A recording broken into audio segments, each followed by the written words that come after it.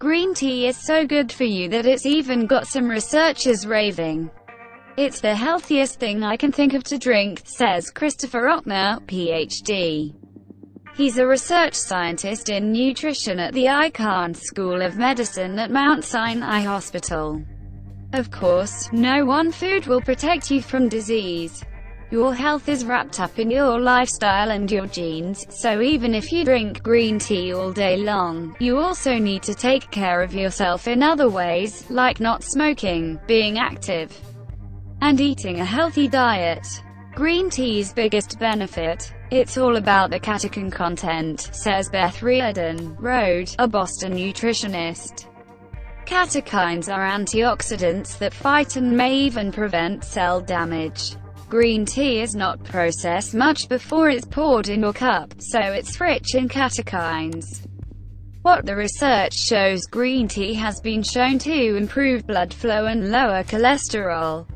A 2013 review of many studies found green tea helped prevent a range of heart-related issues, from high blood pressure to congestive heart failure. What's good for the heart is usually good for the brain. Your brain needs healthy blood vessels, too.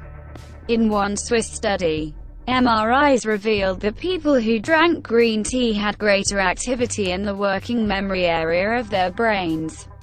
Green tea has also been shown to help block the formation of plaques that are linked to Alzheimer's disease. Green tea seems to help keep blood sugar stable in people with diabetes. Because catechins lower cholesterol and blood pressure, they can help protect against the damage a high-fat diet can cause, Ochner says.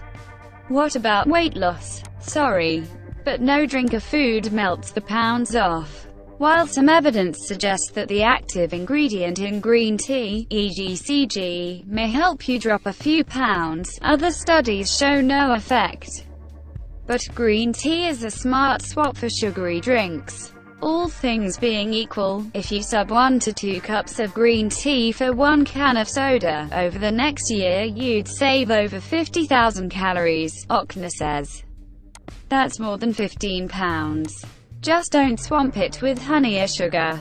Health benefits of green tea effects on cancer. Studies on green tea's impact on cancer have been mixed. But green tea is known to aid healthy cells in all stages of growth. There are some clues that green tea may help destroy cancer cells, but that research is still in its early stages.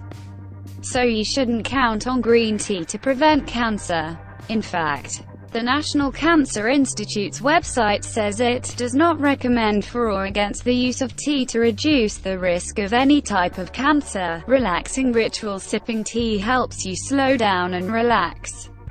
Reardon says, a natural chemical called theanine found in green tea can provide a calming effect. But perhaps the biggest benefit, which you get right away, is just taking a tea break. Here's how to make your next cup. Don't add green tea to boiling water. It's bad for catechins, those healthy chemicals, in the tea. Better, 160 to 170 degree water. Add lemon. Vitamin C makes the catechins A easier to absorb.